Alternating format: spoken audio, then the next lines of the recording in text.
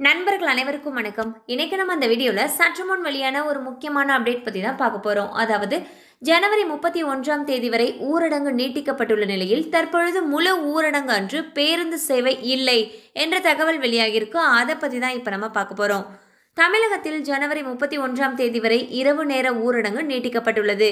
இந்நிலையில் ஞாயிற்றுக்கிழமை முக்கிய கட்டுப்பாடுகளை அறிவிச்சிருக்காங்க. ஸோ அது என்ன கட்டுப்பாடுகள் அப்படின்னு சொல்லி பார்த்துடலாம்.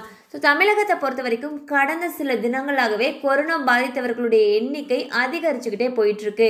அந்த வகையில் நிறைய கட்டுப்பாடுகளை கொண்டு வந்தவண்ணம் இருக்காங்க. அதில் ஒன்று ஞாயிற்றுக்கிழமை முழு ஊரடங்கு. ஸோ இந்த ஞாயிற்றுக்கிழமை முழு ஊரடங்குல மேலும் சில கட்டுப்பாடுகளை அறிவிச்சிருக்காங்க. அதன்படி என்ன சொல்லியிருக்காங்கன்னா ஞாயிற்றுக்கிழமை முழு ஊரடங்கின் போது பொது போக்குவரத்து மற்றும் மெட்ரோ ரயில் இயங்காது என்று தமிழக அரசு அறிவித்துள்ளது. உணவகங்களில் காலை ஏழு மணி முதல் இரவு ஏழு மணி வரை பார்சல் சேவைக்கும் பதினாறாம் தேதி வார நாட்களில் இரவு பத்து மணி முதல் காலை ஐந்து மணி வரை வாடகை வாகனங்களுக்கும் அனுமதி வழங்கப்படும் என்று அறிவிக்கப்பட்டுள்ளது.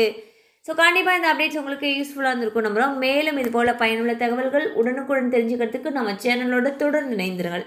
தேங்க்யூ ஃபார் வாட்சிங்